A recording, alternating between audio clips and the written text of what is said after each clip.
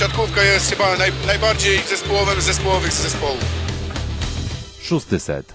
Kolejny odcinek podcastu siatkarskiego, szósty set, tym razem bez Kuby Lewandowskiego, w składzie dwuosobowym Piotr Złoch i I Rzeszowie. Filip Kurfanty.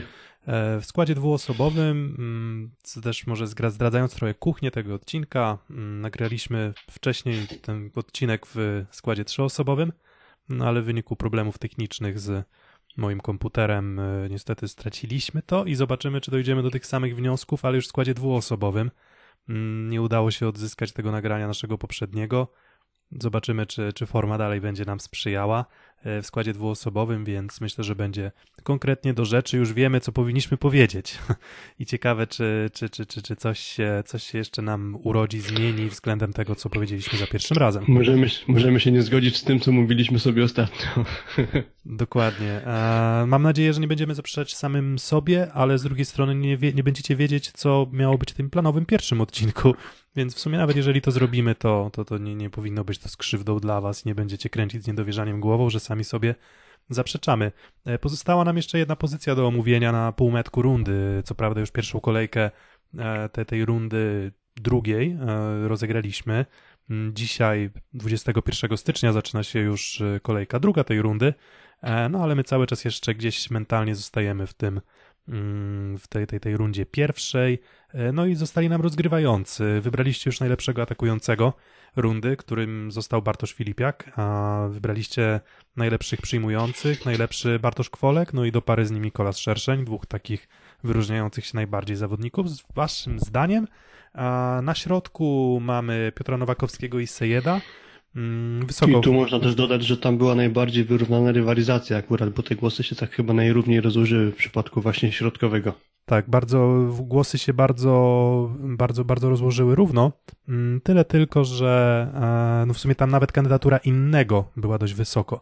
Bo, bo w sumie wydaje mi się, że te nasze typy środkowych największe emocje wzbudziły wśród też odbiorców, bo, bo w sumie gdzieś tam Karol Kłos się pojawiał bardzo mocno promowany przez, przez kilku użytkowników, co właśnie, bo żeby, żeby też nie tak, żeby nie zabrzmiało, to, że kogoś tam zabrakło, zabrakło w czołowej trójce, to nie oznacza, że uważamy, że ktoś zagrał słabą rundę, a mam wrażenie, że niektórzy mogli tak trochę odebrać, a tak absolutnie, absolutnie nie jest. Wybieracie też libero najlepszego z trójki Paweł Wojtaszek, e, przepraszam, Damian Wojtaszek, Paweł Zatorski i Jakub Popiwczak, a, no i inny, to też ten z trójki, z trójki plus inny, czyli z tych czterech opcji wybieracie.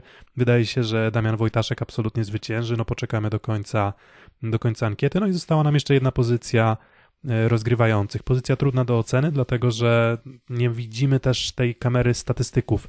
E, Ten obraz e, z kamery telewizyjnej bardzo często utrudnia nam ocenę tego, czy rozgrywający rozgrywał dokładnie, niedokładnie.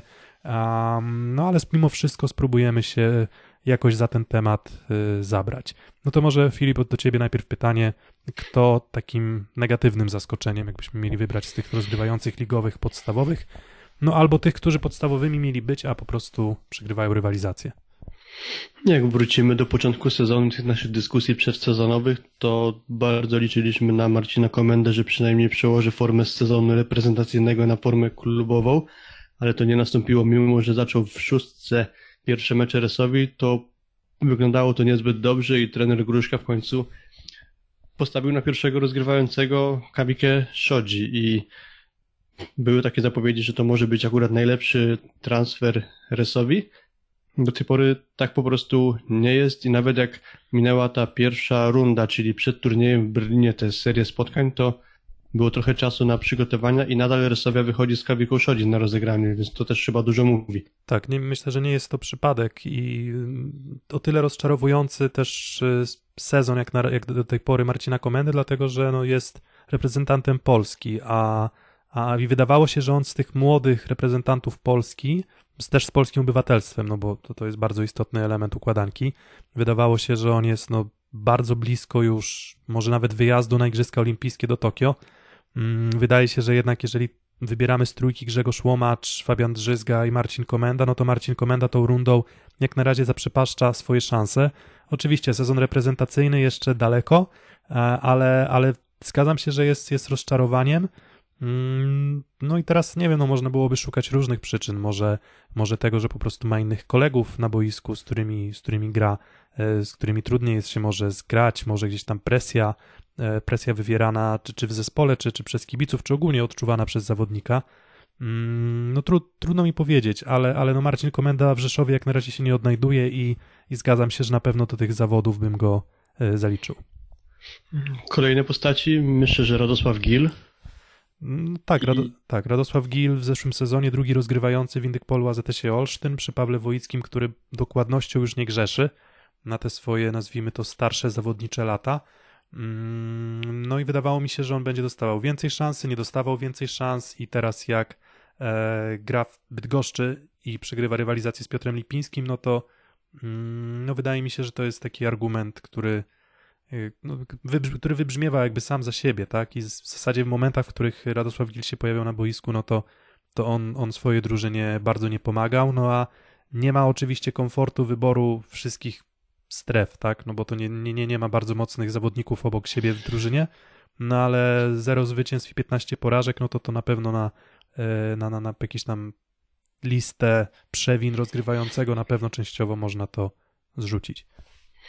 No i też sytuacja taka z transferem jego zagranicznym, to za chwilę pewnie będziemy rozmawiać o Janie Firleju, który akurat można powiedzieć, że dobrze wykorzystał zagraniczny wyjazd i pełny sezon na boisku w barwach swojego belgijskiego zespołu i przywiózł brązowy medal Ligi Belgijskiej w Lindemans Alst, a z kolei właśnie Radosław Gil, który spędził sezon w lidze słoweńskiej, no to nie przekuł tego na dobrą dyspozycję w sezonie ligowym i to, co dawało mu pewny plac w Słowenii, to nie wystarcza na to, żeby choćby wygrywać rywalizację z Piotrem Lipińskim. Dla mnie to jest rozczarowanie.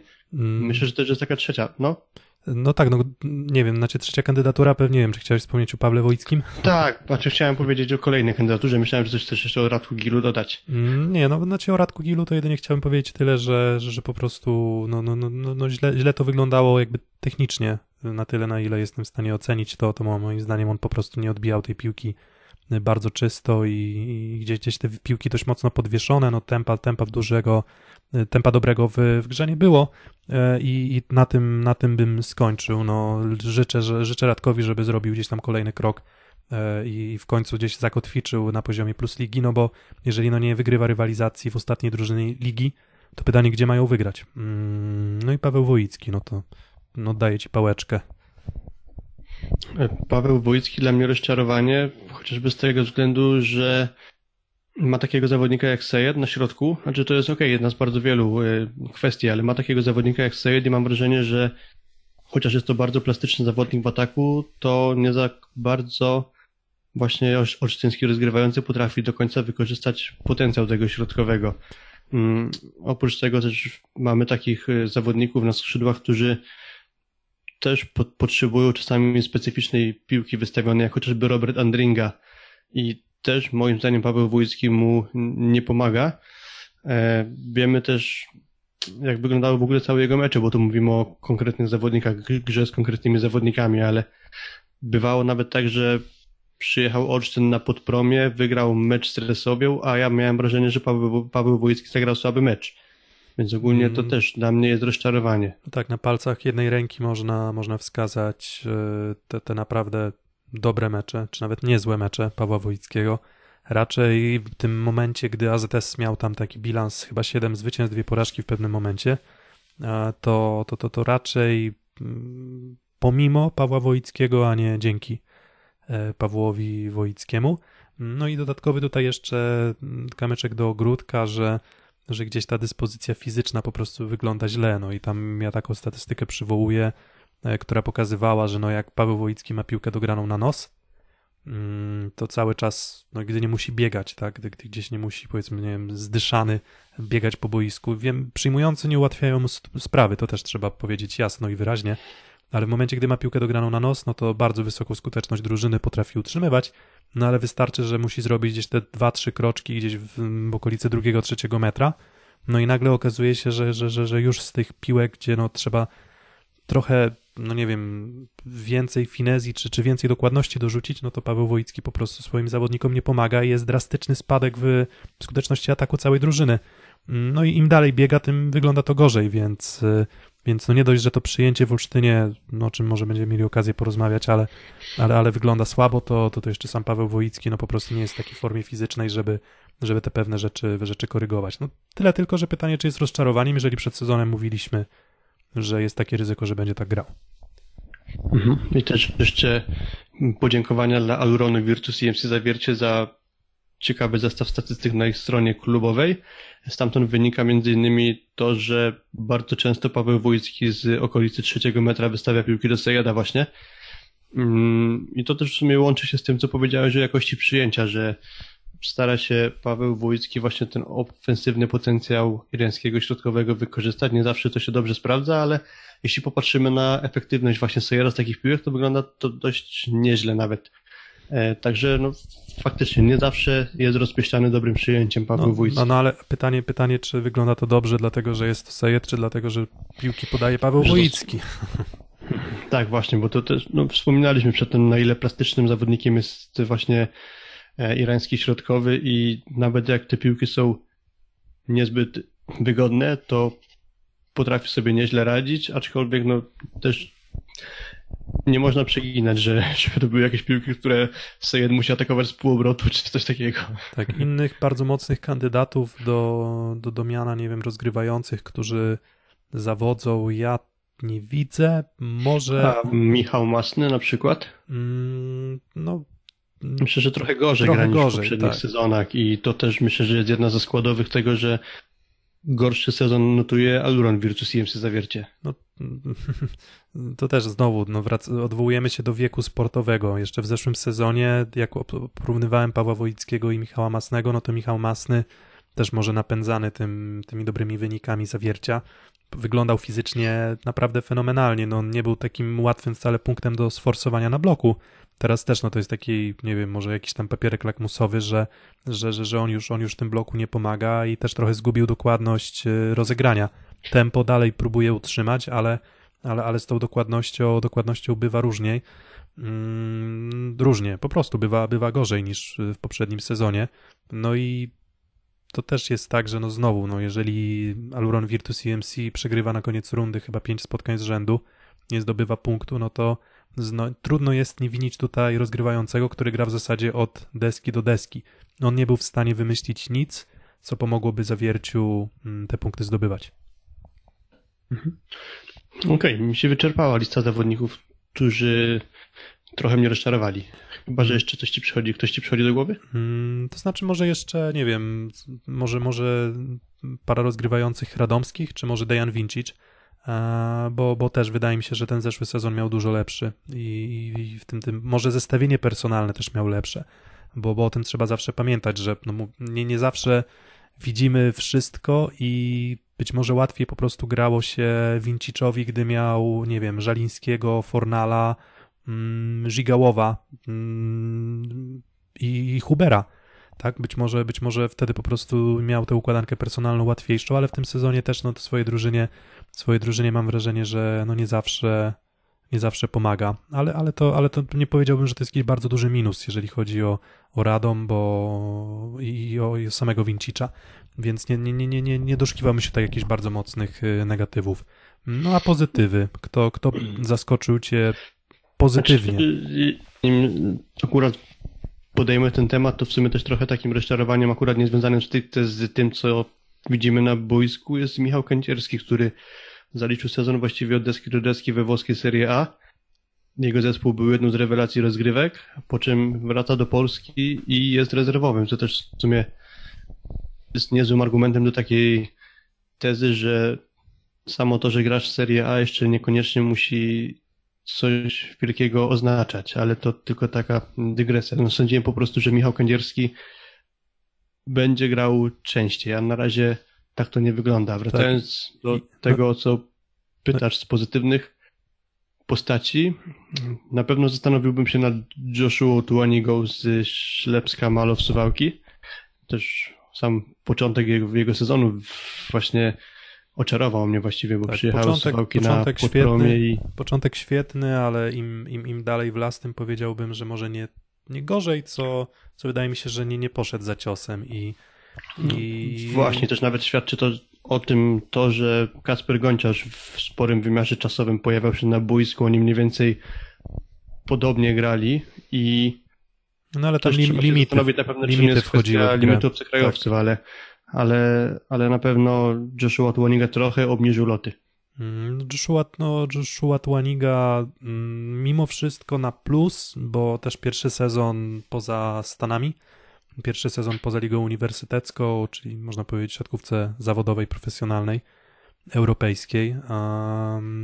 No też nowe miasto, myślę, że inne, nieco inne też realia temperatury. Też w tych nagraniach przedsezonowych wspominaliśmy, że ciekawe jak się odnajdzie. No nie wygląda na to, żeby, żeby akurat to był jakiś bardzo duży problem. Myślę, że teraz jak już Nikolas Szerszej, no bo on już mm, rozegrał pierwszy mecz na polskiej licencji, mm, to to wydaje mi się, że on już teraz będzie grał jednak zdecydowanie, zdecydowanie więcej, bo, bo, bo, bo, bo, bo Andrzej Kowal już po prostu nie będzie musiał go e, zdejmować. No z innych pozytywy, pozytywów, jeżeli chodzi o rozegranie, no to nasuwa się postać e, Marcina Janusza. Mm, On gdzieś do. Mam wreszcie mam wrażenie, że jakąś charakterystykę jego jako rozgrywającego widzę, bo, bo wreszcie, wreszcie gra szybko, szybciej na pewno niż w poprzednim sezonie. Ma zawodników, z którymi mm, może grać sobie kreatywnie i, i, i w tempo, i, i, i, i po prostu pasuje do tej drużyny, i wydaje mi się, że kolejny krok zrobił.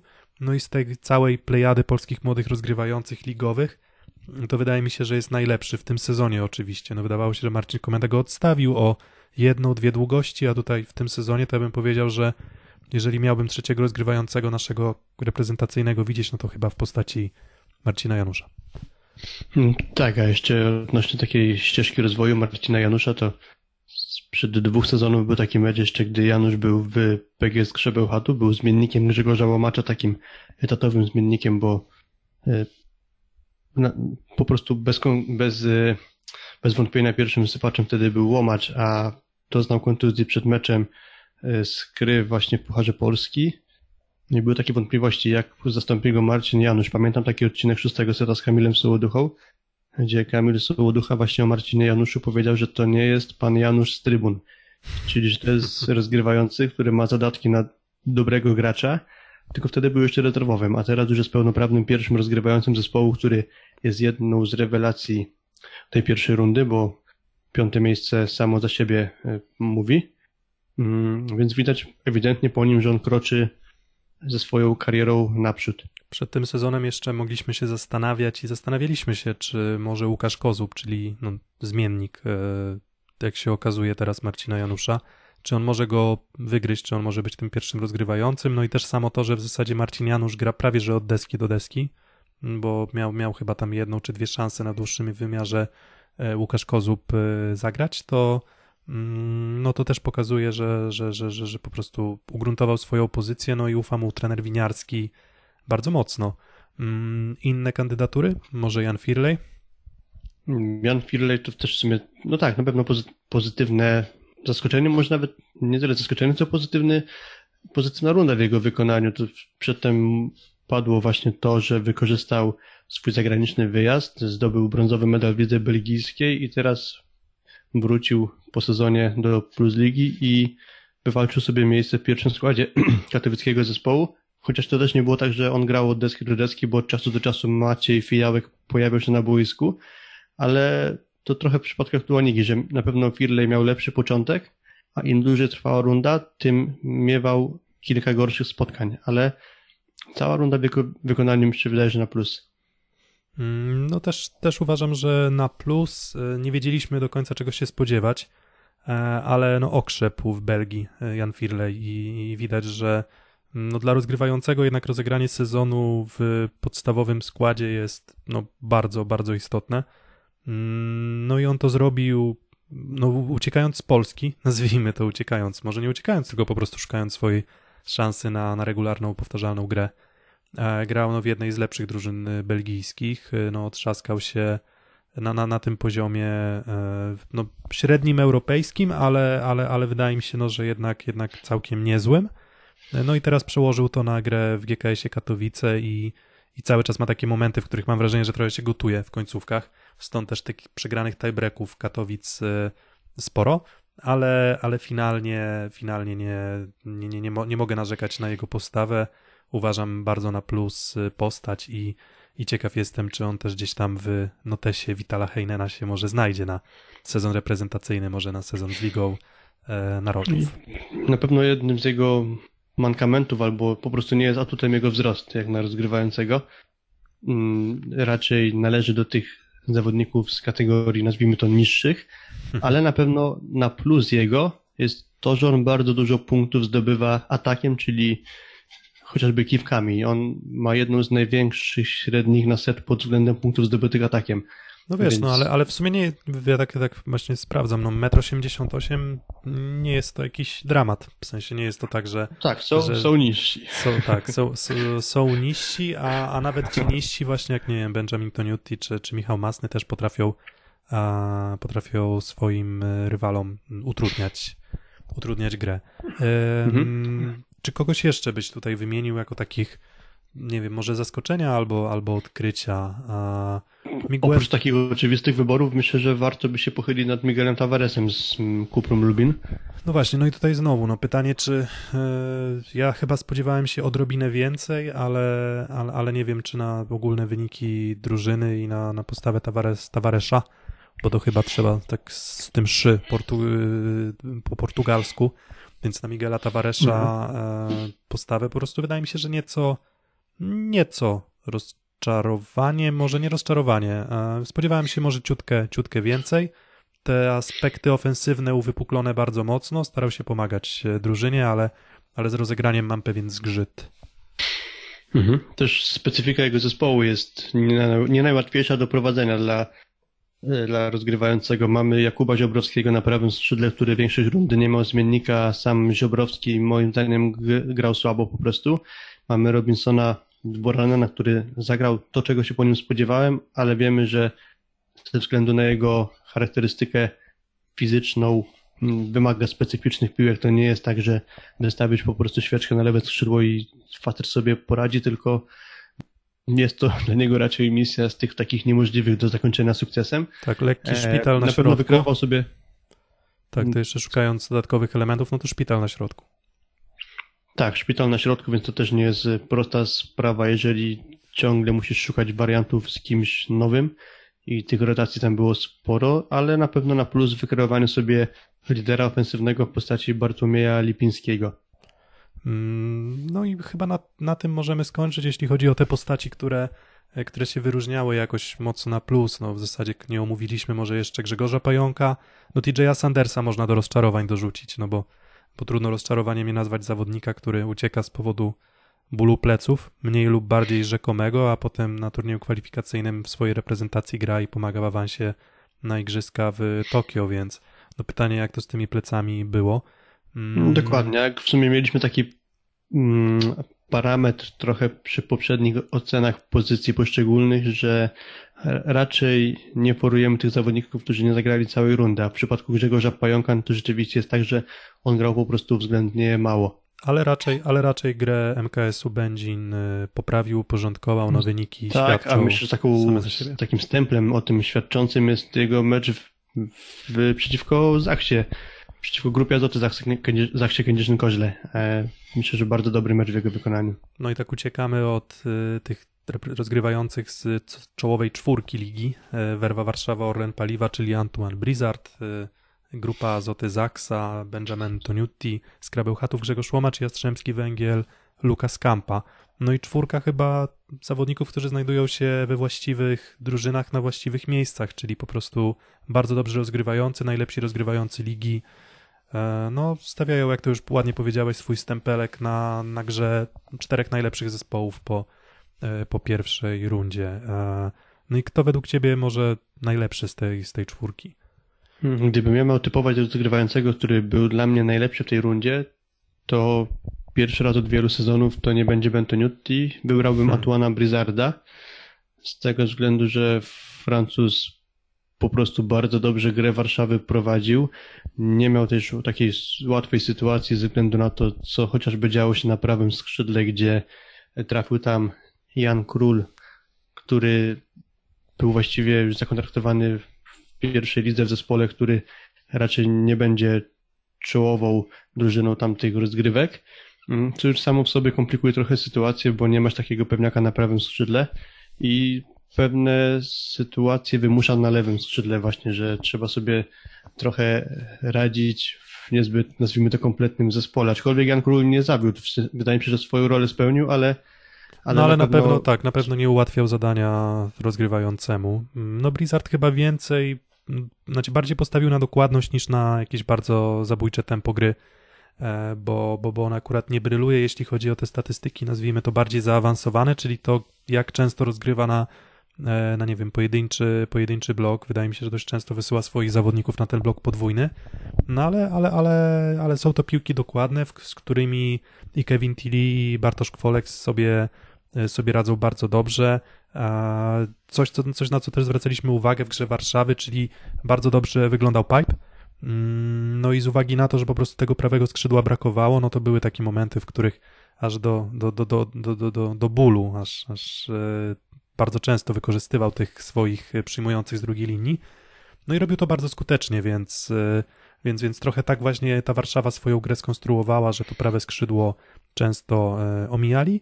I, I, za to też plus dla Blizzarda, no on też z tej całej czwórki mm, rozgrywających z czołówki jest najlepszy w tym takich mm. elementach liczbowych.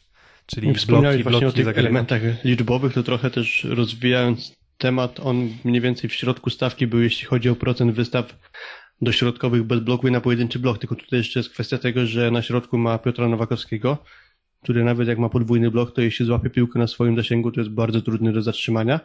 No, e, no tak, no to, właśnie... Jego charakterystyka po prostu nie wymuszała na e, Antoine Blizzardzie takiej super wyrafinowanej, kombinacyjnej gry po prostu mógł decydować się na wystawę nawet w oczywistej sytuacji do Piotra Nowakowskiego i raczej on sobie z tym radził. No, no, w porównaniu do Benja, Benjamina Toniutiego, do Bena Toniutiego miał, wydaje mi się, nieco mniej zbalansowany ten materiał ludzki. Mm, aczkolwiek no sam Ben Toniutti no też no, wypadł mu Łukasz Kaczmarek, który zaczął sezon y, dobrze, a potem no, przyszła ta no, niepokojąca no, kontuzja, czy, czy, czy w zasadzie schorzenie tam y, mięśnia sercowego. Mm, więc, więc on też tutaj na przykład Arpada Barotiego uważam, że całkiem umiejętnie do gry wprowadza i, i, i to on, on też jest ben, ben, trzeba dać Benowi Toniuttiemu, oddać mu to, że dzięki niemu Węgier wygląda lepiej. W zasadzie no, Toniutti ma coś takiego w sobie, że w zasadzie przy nim każdy zawodnik wygląda dobrze i nawet te postaci gdzieś tam wchodzące z dalszego szeregu, nie wiem, jak w zeszłym sezonie, jak grał Tomasz Kalempka, no to on też grał dobrze. E, jak teraz, nie wiem, zagra Sebastian Warda, to zakładam, że przy Toniu Team też będzie dostawał bardzo dobre, bardzo dobre piłki. Mm, no ja mam problem z wyborem Blizzard czy Toniutti, ale, ale no powiedzmy, że w, nieco w trudniejszej sytuacji był Blizzard i dlatego ja też go typuję jako takiego rozgrywającego najlepszego w tej rundzie. E, na pewno... Chociaż też na pewno na korzystnie nie wpłynęło na grę Donutiego odejście sama Dero, czyli takiego pewniaka w ataku z Aksy do tej pory, być dobrze zgrani i po prostu mógł mieć pełne zaufanie do Belga, a teraz dość niespodziewanie akurat Dero się e, przeniósł do Dynamo Moskwa i to na pewno skomplikowało trochę system gry Zachsy Kędzierzyn Koźle. Mm, no ale, ale to z kolei sprawiło, że Toniutti musiał się odnaleźć w nowych realiach i w tych realiach wydaje mi się, że odnalazł się bardzo dobrze bo on tę grę poukładał tak, że mniej więcej porówno tych piłek dostają, e, dostaje każdy z trzech skrzydłowych i tak środka było sporo, tak, tak dalej, sporo tego środka, ale, ale on, on sobie wykreował Olka Śliwkę, on sobie wykreował w drugiej części rundy Kamila Semeniuka i, i za, to też, za to też duży plus. No jak oceniasz Grzegorza Łomacza? W sumie ciekawa, chyba najciekawsza, czy też budząca najwięcej wątpliwości postać tej całej czwórki jest można było sporo negatywnych opinii poczytać o grze właśnie rozgrywającego PGS Krybełchatów, ale i, moim zdaniem... I w, tak? zeszłym, I w zeszłym sezonie i, i w sezonie kadrowym. Hmm? Tak, to prawda. Zresztą to, że tak chwaliliśmy Grzego, nie Grzegorza Macza, tylko Marcina Komendę za sezon kadrowy też w sumie się nie wzięło z niczego, bo on dostawał szanse i, i je wykorzystywał, a właśnie Grzegorz Łomacz tak nie, błyszczał, więc może tym większa tęsknota za dobrą grą rozgrywającego, hmm. który nie nazywa się Fabian Drzyzga.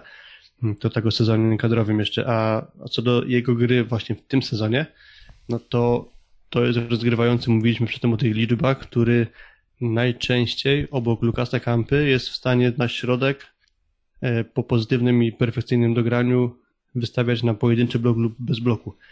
No i Tak, też druga strona medalu, czy też idąc za tym, świetnie z tego potrafił korzystać środkowi Bełchatowa, którzy mają bardzo dobrą skuteczność. Mm, Nie wiem, czy na przykład, nie wiem, te parametry, jeżeli chodzi o skuteczność ataku em, przyjmujących skry, czy to nie jest jakiś tam kameczek do ogródka Grzegorza, Grzegorza Łomacza, ale wydaje mi się, że po prostu Ebadipur i Szalpuk nie są w bardzo wysokiej formie. A więc też nie jest tak, że, że Grzegorz Łomacz sobie może, nie wiem, w każdym meczu wybrać dowolną strefę w dowolnym momencie i, i ma pewność, że skończą, więc, więc trochę musi kombinować. Gra dużo środka, dużo sytuacji, em, tak, jak, tak jak zresztą sam wspominałeś, tych trudniejszych, czyli nie, nie, nie, nie z dogrania bezpośrednio pod siatkę. Mm, No i robi to, robi to bardzo dobrze. No na pewno, na pewno dał sygnał Witalowi Heinenowi, że e, no okej, no może nie był to na mój najlepszy sezon reprezentacyjny, chociaż zresztą no pamiętamy, że on i pojechał na, do, do Gdańska, tak, na, na ten turniej kwalifikacyjny do Igrzysk. Mm, Na Mistrzostwach Europy już występował Marcin Komenda, a, ale, ale, ale wydaje mi się, że on powiedział, no, słuchaj Wital, bardzo chciałbym pojechać do tego Tokio i postaram się to udowodnić. No i moim zdaniem udowadnia, więc, więc na ten moment Fabian Drzyzga, którego pozycja jest chyba no, nie do ruszenia, no i właśnie Grzegorz Łomacz, no to, to, to ja bym taką, taką parę y, wybrał. No bo też troszeczkę inna charakterystyka roz, rozegrania, tak? No Grzegorz Łomacz świetna gra na, na środku, a Fabian Drzyzga wydaje mi się, że jednak lepszy w e, wystawie na, na, na, na skrzydła. Mm, Tak, dlatego tym sezonem ligowym myślę, że wygrywa Grzegorz Łomacz nad Marcinem Komendą, bo sądzę, że pozycja Fabiana Drzyzgi jest nie do podważenia. Wspominałeś przedtem o tych statystykach wystaw Łomacza do środkowych z niezbyt wygodnych piłek, czyli z okolicy trzeciego metra, no to tu z kolei sporo takich wyzwań przed Jakubem Kochanowskim i trzeba przyznać, że młody środkowy PGS, który sobie radzi z takich piłek rewelacyjnie znacznie lepiej niż Sejed chociażby, Mhm. wspomniany no, przed tym, przerasta, na pewno przerasta też... ligę. W te, akurat w tym Tak, aspekcie. tak, tak, dokładnie, tak to wygląda.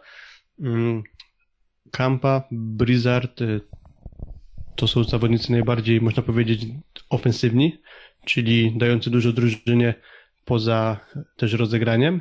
I akurat Łomacz wygląda w tych aspektach dosyć słabo, aczkolwiek na pewno na plus liczba zagrywek na set, bo to jest ligowa czołówka wśród rozgrywających, więc może okej, jego za- zagrywka nie jest piorunująca, ale też może świadczyć o tym, że tak dużo serwuje to, że on dobrze pracuje w defensywie Dobra, też... dobra, dobra, dobra. Wiemy, że Łomacz zagrał dobrą rundę. Filip, e, to, e, no to wybieramy, który, wybieramy trójkę e, najlepszych. No Blizzard to Newty bez wątpienia, no i Łomacz czy Kampa. Mm, Myślę, że Łomacz, a też w sumie w ocenach tych poprzednich pozycji odnośnie Jastrzębskiego Węgla mówiliśmy o tym, że oni mieli słabą część rundy jako zespół, czyli tam wszyscy właściwie większość zawodników przez pewien okres sezonu grała słabo i to też ty- tyczyło się Lukasa Kampy. Myślę, że równiej na dystansie tej pierwszej fazy zasadniczej, pierwszej rundy fazy zasadniczej wypadł Grzegorz Łomacz i chociażby z tego względu akurat wytypowałbym do tej czołowej trójki właśnie rozgrywającego skry. Mm, No i ja również e, sprzyjam akurat takiej tezie. Mm, Jeszcze Kuba Lewandowski poprosił, żeby powiedzieć, że no, on jest wyznawcą kościoła Andrei Anastazjego. O trenerach zamiast, zaraz porozmawiamy. No ale też powiedział, że dla niego zdaniem Antoine Blizzard jest najlepszym rozgrywającym ligi. Zobaczymy, czy się z tym zgodzicie. Niedługo ankieta na Twitterze i będziecie mogli swój wyrok wydać, tak jak e, wydaliście w przypadku wszystkich innych pozycji na połowę rundy, a po krótkiej przerwie e, opowiemy o najlepszych trenerach i o drużynach, które ci trenerzy prowadzili, zaskoczeniach, czy pozytywnych, czy negatywnych, e, o tym za chwilę. Szósty set. No i przechodzimy do trenerów. E, Skład już prawie skompletowany. Mm, Poznaliście tych najlepszych, naszym zdaniem, zawodników ligi. No to teraz najlepsi trenerzy ligi. Kandydatury jakieś mocne nasuwają ci się. Mm, Nie jestem też wyznawcą kościoła Andrzeja Anastazjego, ale mimo wszystko na pewno należy się szacunek, jak to się mówi, Andrzej Anastazjemu za to, jak poukładał werwę Warszawa Orlen. Tak, jak to, jak to. Mirosław, Mirosław Szymkowiak mówi, że no szacunek, szacuneczek się należy Andrzej Anastazjemu, ja też się zgadzam. Tak, no chociażby argumenty są takie, że to jest zespół, który do dzisiaj ma tylko jedną porażkę w lidze, a do niedawna równy wynik notowała grupa Azoty Zachsa Konieczny-Koźle, ale przytrafiła im się porażka z MKS-em Będzin, więc akurat warszawianie na ten moment są takim pewnym liderem mm, ligi i to pomimo tych problemów oczywiście z samego początku sezonu, właściwie jeszcze przed jego startu z finansami, gdzie raczej nastroje nie były zbyt pozytywne, udało się to pokonać. Pojawiły się problemy kadrowe z kolei, czyli odejście Vandendrisa, odejście mm, Piotra Łukasika. Trzeba było łatać skład Janem Królem i Janem Kopyściem i pomimo tego bardzo szybko warszawianie, przypuszczam, że to w dużej roli zasługa Anastazjego właśnie wyglądali bardzo dobrze. Tak, połowa rundy, czy nawet więcej niż połowa rundy z jednym atakującym i to atakującym z pierwszej ligi, mm, więc długo czekali na Artura Udrysa jak już Artur Udrys wrócił, to też wcale nie powiedziałbym, że grał jakoś e, fenomenalnie, więc to nie jest tak, że nagle wrócił bardzo mocny punkt e, Anastazjemu od razu do składu. Mm, zobaczymy jak będzie teraz, ale ale, ale, ale no to jest jeden argument. Kolejny argument, no chyba wszyscy zawodnicy Warszawy wyglądają dobrze lub bardzo dobrze. Mm, na przykład Patryk Niemiec, tak, no razem z Andreą Anastazim i Piotrem Nowakowskim i, i tam chyba jeszcze kilkoma postaciami w sztabie e, z Gdańska do Warszawy się przeniósł przed sezonem i on wygląda bardzo dobrze. Dobrze wygląda Bartosz Kwolek. Wydaje mi się, że dużo lepiej wygląda Kevin Tilly niż ja się spodziewałem, na przykład w ataku na, na, na, na wysokiej e, piłce. Spodziewałem się, że on będzie jednak od, zabezpieczał element przyjęcia, ale, ale on gra bardzo dobrze też w, w ofensywie. No i wydaje mi się, że to wszystko jest gdzieś e, mm, no, takimi małymi elementami, które złożone w całość no, jednoznacznie mówią, że Andrea Anastazji na tej liście naszych trenerów najlepszych rundy musi się znaleźć. Mm, nawet w tych ankietach przedsezonowych mówiliśmy, no, że okej, okay, Wtedy nie wiedzieliśmy, jak będzie wyglądać sytuacja na prawym skrzydle, jak będzie wyglądać sytuacja finansowa Warszawy. Sytuacja finansowa się poprawiła, sytuacja na prawym skrzydle też się poprawiła, no ale wtedy typowaliśmy, że Warszawa no to gdzieś tam bliżej miejsca 5-6.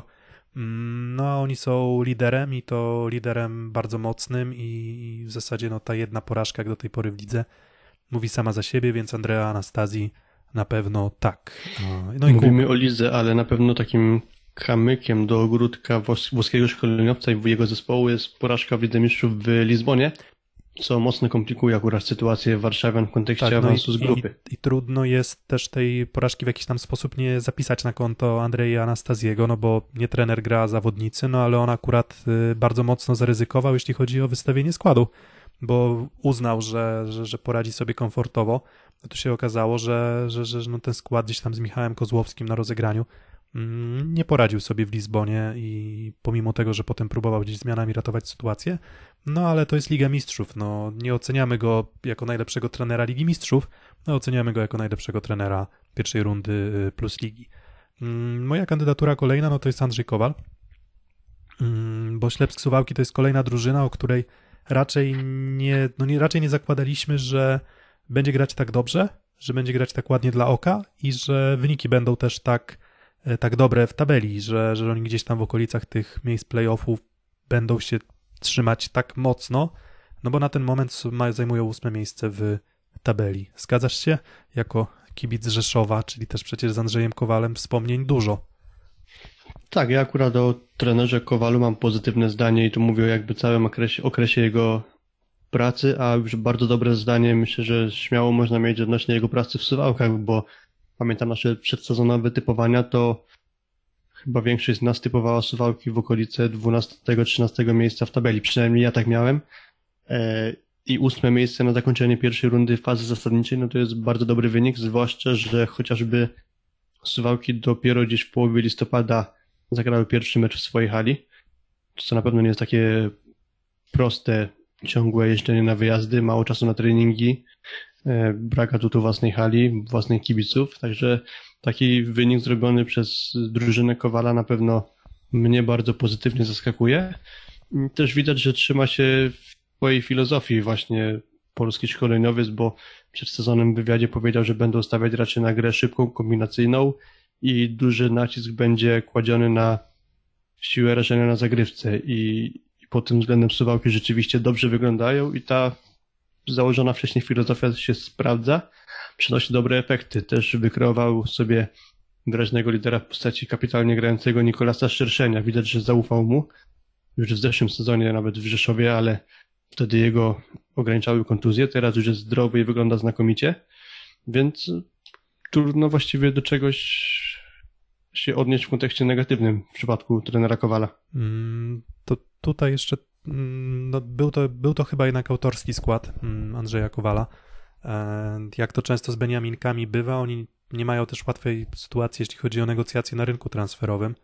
No ale wydaje mi się, że no, ciekawa postać tak fama. Postawił na Joshua Tuanigę, co, co nie jest też takie oczywiste, żeby młodych, no, młodych rozgrywających z, z kraju innego niż Polska postawić w tej lidze on postawił i wydaje się, że Amerykanin mu się spłaca. Mm, no i, i, ogólnie patrząc, to też ma sporo zawodników, którzy grali w pierwszej lidze. Mm, I wydawało się, że no, z jakiegoś powodu dużego doświadczenia w tej najwyższej klasie rozgrywkowej nie zebrali jak do tej pory. No a udaje też się u, u, albo ukryć, albo wypuklić atuty tych zawodników. Mówię tutaj na przykład, nie wiem, o ośrodkowych że, że, że wcale od Takwama dużo gorzej, e, dajmy na to, nie wiem, Sapiński nie, czy Sieknie nie wyglądali, tak, więc, e, więc, więc może to też kwestia rozegrania. No ale, ale wydaje się, czy, czy na przykład bardzo dobra postawa Filipowicza też na libero, więc nie miał aż tak dobrego składu, aż tak otrzaskanego składu, żeby, mm, żeby, żeby w, w pierwszej, nie wiem, myśli stawiać i Suwałki czy, czy Andrzeja Kowala jako jako, jako drużyny, które będą, nie wiem, może nie, nie dominować w lidze, ale radzić sobie bardzo dobrze, a, on, a ta drużyna na pewno radzi sobie bardzo dobrze. Mm, to kto jeszcze zaskoczył? No Michał Winiarski chyba. Na pewno Michał Winiarski, tak jest. Michał, Winiar... Michał Winiarski, trener zespołu, który zajął piąte miejsce w tabeli. Zawodnicy wybrani przez niego tacy wydawałoby się nieoczywiści, jak chociażby ściągnięty z Niemiec Paweł Halaba, który na pierwszy rzut oka to nie był taki super pewnie, że ściągamy Pablo Halabę i to będzie zawodnik na miarę czołowych przyjmujących ligi, a jednak miał dobrego nosa i postawienie na Halabę mu się sprawdza. Um, oprócz tego wykreowanie takiego atakującego jak Bartosz Filipia, który gra jeszcze lepiej niż w Bydgoszczy i jest, tak jak zresztą głosowaliście, wybraliście go najlepszym atakującym pierwszej rundy, to też myślę, że też trzeba jako atut e, trenera winiarskiego mm, oddać, że potrafi tych zawodników odpowiednio poprowadzić, że oni oddają to, co najlepsze na boisku. Po prostu przyjemnie się patrzy na Gdańszczan, jeśli widzimy ich wolę walki, zawziętość, to, że nie odpuszczają. Nawet jak przegrywają spotkania, to nie miałem wrażenia, że oni grali jakoś wyraźnie źle. Mm, no, tutaj podpisuję się pod wszystkim to, co powiedziałeś o doborze zawodników w składzie. No bo tak, ani Paweł Halaba nie był tym zawodnikiem oczywistym. To nie, nie, nie przychodzi z jakimś takim odium gwiazdy, tylko raczej, e, raczej zawodnika, który cały czas no, jest na fali wznoszącej, ale nie wiadomo jak się odnajdzie. Postawiono na niego bardzo mocno, no i on do pewnego momentu naprawdę grał fenomenalnie. Mm, Bartosz Filipiak progresuje. E, Mordyl na środku, to też kolejna postać, o której, o której gdzieś już wspominaliśmy, że e, zrobił postęp. Mm, Marcin Janusz, e, no miarą sukcesu trenera są nie tylko wyniki, ale też to, jak ci zawodnicy poszczególnie grają. Powtórzę się, bo to samo powiedziałem przy Andrzej Anastazim. I, i, i, to jest, I to jest jakby kolejny argument za tym, że, że Michał Winiarski no, może przed sobą karierę trenerską mieć bardzo, bardzo dobrą, bo Gdańsk się ogląda dobrze. Gdańsk cały czas jeszcze jest drużyną młodą i też tutaj ukłony dla prezesa Gadomskiego, no i właśnie, właśnie Winiarskiego, za to, że stworzyli skład, który w zasadzie, jeżeli uda się utrzymać, no to naprawdę może być już takim solidnym trzonem do może nie walki o jakieś najwyższe cele w kolejnym sezonie, ale w perspektywie może dwóch, trzech sezonów, jeżeli udałoby się utrzymać Janusza, Halabę, mm, może Mordyla, e, to, to, to wydaje mi się, że to może być drużyna groźna dla każdego. Zresztą już teraz jest groźna dla każdego, no i, i za, to, za to brawa dla Michała Winiarskiego, brawa dla Trefla Gdańsk, bo, bo to też jakby oceniając trenera pozytywnie, no to też na pewno mm, za, zasługi idą dla całej, całej drużyny. E, no zespół to... groźny i zespół, który już zameldował się w półfinale Pucharu Polski, o, o czym też myślę należałoby wspomnieć, bo półfinał Pucharu Polski kosztem Jastrzębskiego Węgla to myślę, że już jest duży wynik dla Trefla Gdańsk. Tak, no dla, dla, każdej drużyny ten awans do Final Four jest y, dużym wynikiem, a Trefl Gdańsk jakoś sobie upodobał te Puchary Polski, no bo, bo nawet w sytuacji, w której on nie był faworytem, a to, to, to on te w, to w ostatnich latach dobre wyniki e, na pewno osiągał i tę tradycję będą kontynuować razem z Michałem Winiarskim, więc myślę, że to też bardzo fajna nagroda dla tych młodych zawodników, żeby no, spróbować swoich sił jednak no, w rywalizacji, gdzie no, odpadasz, przegrywasz, odpadasz. A, I bardzo jestem ciekaw, jak sobie poradzą w, w, w Katowicach, bo chyba w Katowicach będziemy mieli finał Pucharu Polski. W, tak jest, w Katowicach. A inne postaci na ławce trenerskiej? A... Mały plusik myślę, że przy Dariuszu Daszkiewiczu. No to zdecydowanie też, e, znaczy ja sobie go zawsze ceniłem, gdy jeszcze był trenerem Kielc, bo uważam, że też nieoczywiste wybory na rynku transferowym i, i często te, te, te wybory się sprawdzały, a on po prostu wydaje mi się, że wyciskał naprawdę bardzo dużo z, z, Kielc, z Kielczan. A teraz szansa w Katowicach i, i, i wydaje mi się, że no wrócił z impetem do Plus Ligi. Tak, zdecydowanie. Ja pamiętam jeszcze, jak on był za pierwszym razem zwalniany z Kielc, to byłem bardzo zdziwiony akurat, że on zapłacił swoją posadę za wyniki, za to, co to działo trochę, się akurat w kieleckiej drużynie. To trochę jak w też... tym, trochę jak w Ekstraklasie jest, że jeżeli masz trenera, który zrobi wynik ponad stan, to potem jak przestaje robić wynik ponad stan, no to nagle okazuje się być ofiarą własnego sukcesu. I mam wrażenie, że tak trochę było, że, że, że robił dobre wyniki, a potem nagle okazało się, że jak go zabrakło, no to, to, to i zabrakło siatkówki w Kielcach na najwyższym poziomie, niestety.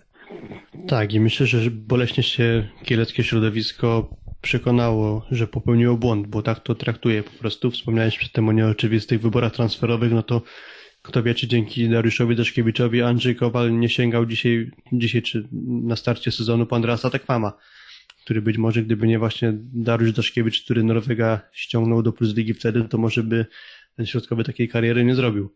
E, ale wracając już do Katowic, to dużo tych tiebreaków, co w sumie też można też przypisać jako pewnego rodzaju plus, bo urywanie punktów najlepszym to to też nie jest prosta sprawa. Dokładnie. Do bólu, byłoby, powtarz... gdyby tych tiebreaków wygrali więcej. Powtarzalni e, do bólu e, katowiczanie. No w zasadzie nie było spotkań, w których Katowice, właśnie to, to co mówisz, to jest, na, to jest na pewno duży plus.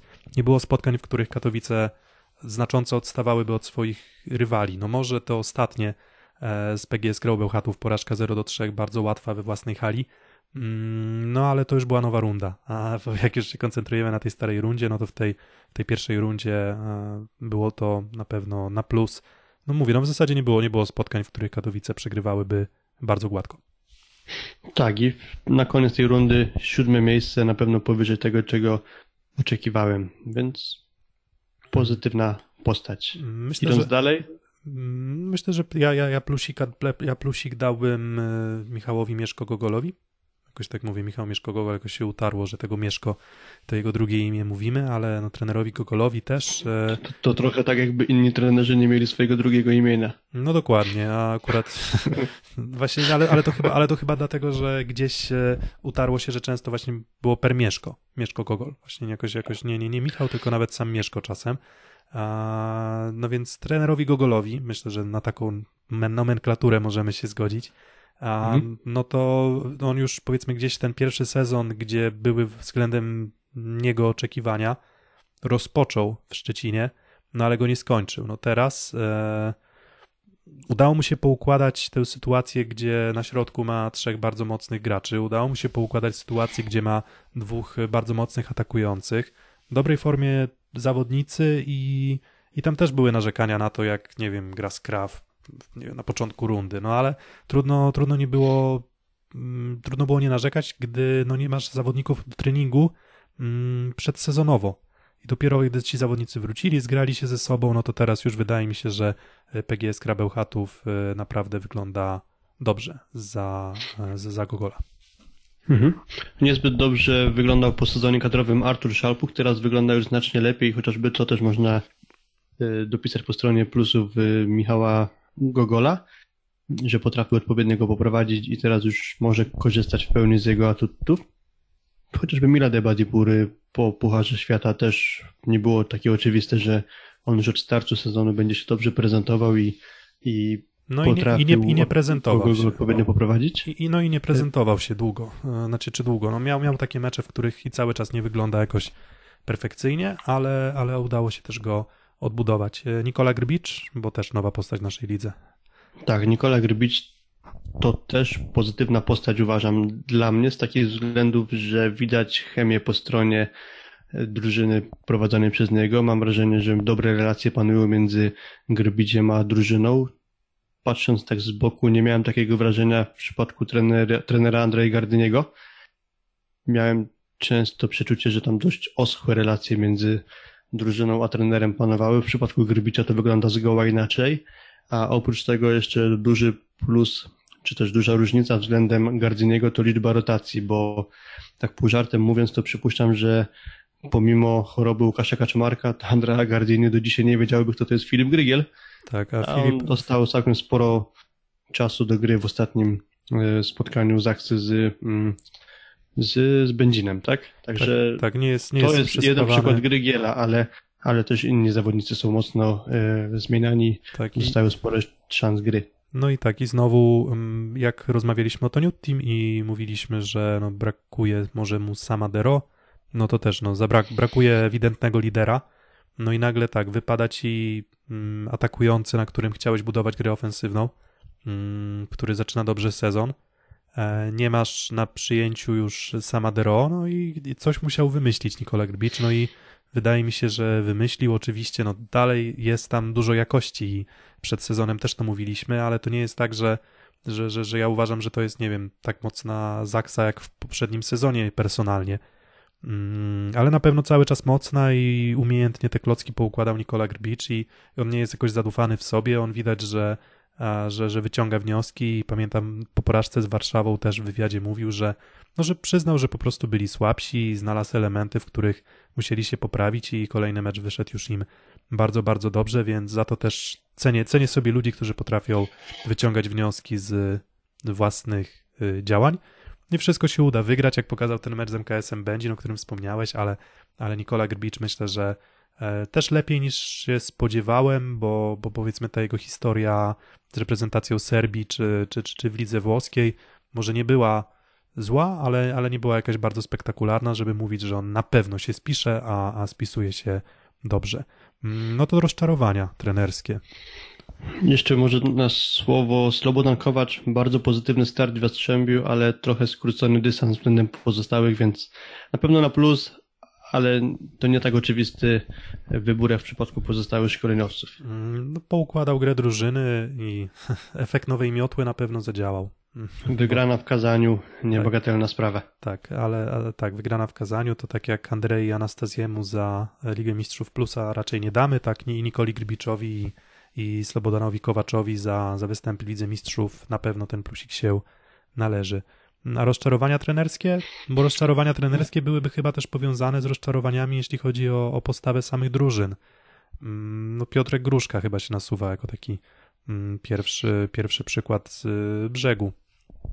No tak, typowaliśmy Rysowie znacznie wyżej w tabeli, a na półmetku Rysowia I nie tylko- wylądowała nie na tylko my. miejscu. Nie tylko my typowaliśmy Tak, tak, nie, ją nie tylko my, no myślę, że znacznie wyżej sięgają ambicje Aseko Rysowi i trochę to tak wygląda, że okres przygotowawczy, czy też dłuższa przerwa w grze, czas na przygotowania nie służy drużynie rzeszowskiej, bo pamiętamy poprzedni sezon, gdzie bardzo słaby początek, potem przyszła przerwa na kwalifikacje do Mistrzostw Europy i Rysowia chyba trzy kolejne spotkania po tej przerwie przegrała. Teraz też bardzo słaby początek sezonu i po przerwie porażka w słabym stylu z Suwałkami, więc Mm, Tak, no, wtedy jeszcze Piotra Gruszki nie było, ale w tym sezonie Piotr Gruszka już jest i na razie ciężko znaleźć jakieś pozytywy. Na pewno końcówka roku była na plus, bo Rzeszowianie na pewno grali dobrze i notowali dobre wyniki, ale to nadal jest duży niedosyt.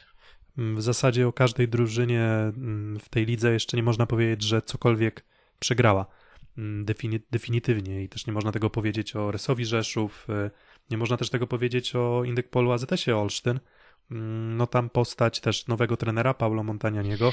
E, Dalej kontynuacja tej włoskiej szkoły trenerskiej, tyle tylko, że no, wydaje się, że no nie, nie, z tej najwyższej półki, tylko gdzieś Paulo Montagnani z historią głównie te prowadzenia drużyn w Serie A2 i to często z historią niedogrywania sezonów do końca, tak? Co, co, co, co nie sugeruje, że, że, że, że on się bardzo dobrze spisywał mm, w roli pierwszego szkoleniowca, przynajmniej w kilku miejscach. No i on zaczął bardzo dobrze, chociaż ja wtedy miałem pewne zastrzeżenia do gry Olsztyna. Mm, No ale trudno było, nie wiem, winić trenera za to, że ma wyniki takie jak, nie wiem, 7 zwycięstw, dwie porażki. No ale potem niestety, no też y, kontuzje mu nie pomagały, ale to nie jest Indyk Pola ZS Olsztyn, który moim zdaniem gra na, na miarę swojego potencjału. To na pewno. Myślę, że nie wszyscy, znaczy właściwie mało który zawodnik gra na swoim maksymalnym pułapie. Chociażby słaby sezon uważam w wykonaniu Jana Hadraby, czyli tego zawodnika, na którego najmocniej należałoby e, liczyć. Tak, teraz, teraz z kontuzją Jan Hadrawa, ale faktycznie to chyba nawet y, Maciej Edgens, y, mm, scout MKS-u Będzin, kilka statystyk teraz umieścił, nie wiem, na dniach, nie wiem, wczoraj, dzisiaj? E, Wczoraj, wczoraj, czyli Wczoraj. 20 stycznia. No i to faktycznie jest tak, że, że Jan Hadrawa nie, nie gra na najwyższym poziomie i, i ta, ta jego skuteczność, nie wiem, na wysokich piłkach, e, no nie, nie, nie, nie wydaje się być aż tak, aż tak imponująca, czy efektywność. Mm, Czy właściwie dużo o trenerze Montanianim już powiedziałeś. Jeszcze też dla mnie trochę zaskakująco gra Wojciech Żaliński. Mam na myśli, że trochę więcej spodziewałem się odnośnie jego mm, gry. To też przypuszczam na karp trenera po części można by zrzucić. Na pewno na plus to, że swoje szanse dostawał w dużym wymiarze Mateusz Poręba, tylko też trzeba by się zastanowić, czy to nie jest po prostu wymuszone w pewien sposób przez kontuzję Pawła Pietraszko na początku sezonu mm, i brak właściwej alternatywy, ale, ale Mateusz Poręba po prostu gra dobrze. No, to też no, kolejna sprawa. No, zestawienie przyjęcia. No, wydawałoby się, że linia przyjęcia Andringa, Mika, Żurek powinna radzić sobie lepiej. No, nie radzi sobie zbyt dobrze. E, Jeszcze coś, co na początku mi się podobało, a w pewnym momencie zaczynało nieco, zaczęło nieco drażnić. W momencie, gdy szło AZS-owi Olsztyn, to ja bardzo ceniłem sobie to, że Paulo Montagnani miał bardzo spokojne i takie wyważone i dość merytoryczne czasy mm, przerwy w trakcie spotkań. Jeżeli brał, to, to to faktycznie wydawało mi się, że był w tym jakiś pomysł. Od pewnego momentu mam wrażenie, że, że pewien chaos się wkradł, jeśli chodzi o zmiany, że mm, jak sobie pomyślę, no, no ile dobrego dały zmiany na przykład Sokołowskiego za Mikę, no niedużo. Może potrzebował chwili odsapnąć Mateusz Mika, bo po prostu nie, nie domagał fizycznie, I- ale, ale te zmiany nie były bardzo dobre. No ile dawały na przykład zmiany na zagrywkę Pawła Pietraszki, średnio. Mm, No więc, więc tutaj wydaje mi się, że, że, że on też do jakiegoś takiego mojego rozczarowania trafia. Mm, To może jeszcze jedna postać i potem wybierzemy sobie tych trzech najlepszych naszych trenerów. E, Mark Lebiediew.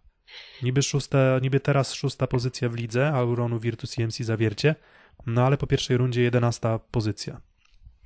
Tak, 11 pozycja, 5 zwycięstw, 8 porażek, kilka dla mnie zaskakujących decyzji kadrowych. Tu głównie, w sumie trochę się jak technika, jak, jak zacięta płyta. Wspominam o tych sytuacjach z atakującymi, gdzie czasem nie rozumiem wyborów podstawowego atakującego w drużynie zawiercia i takiego upartego trwania przy tym wyborze, jak chociażby przy Grzegorzu Boczku w meczu z Zaksą, gdzie wyszedł w szóstce, grał słabo, nie został zmieniony i tu mam wrażenie, że można było spróbować gry z Mateuszem Marinowskim, ale to nie była taka jedyna sytuacja. Oczywiście na pewno jakieś tam powody swoje australijski trener ma, ale to z zewnątrz wyglądało dziwnie. No i patrząc na same właśnie ratio wygranych do porażek, to trzeba by raczej y, ocenić negatywnie to, co zawiercie prezentowało w tej pierwszej rundzie. No tak, w porównaniu do poprzedniego sezonu, gdzie wydawało się, że no, w tym sezonie ten kolejny krok uda się zrobić i zawiercie już na stałe doszlusuje do, do czołówki. Znaczy, No ja miałem pewne obawy, e, ale, ale, ale no, wykazał się cierpliwością prezes klubu, Kryspin Baran, a jak na razie Mark Lebediew zostaje na stanowisku. No on pierwszy mecz w nowej rundzie z Indykpolem AZS-em Olsztyn wygrał na wyjeździe 3 do 1.